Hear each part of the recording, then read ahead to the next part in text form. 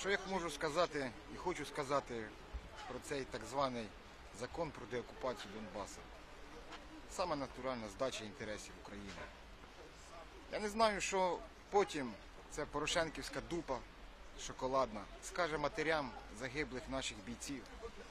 Якщо при голосуванні в Верховній Раді 70 74 чи 76 голосів знайшлося тільки для того, щоб ДНР, ЛНР визнати терористичними організаціями. Колись вони кричали, торговля на крові це погано. А як об'яснити матері, що вона змушена була, платячи за світло, за газ, фінансувати ті кулі, ті снаряди, які вбивали їхню ж дитину. Це буде важко пояснити. Тільки що ви далі будете робити потім? Ще хочу сказати, поки є рух визволення, поки нам довіряють люди, завдяки тим, що в нас є такі наші добрі провідники, яким ми дуже сильно віримо, довіряємо. Ігор Соболєв, Семен Семенченко. Це дійсно люди, яким Україна не байдужа, які нас надихають.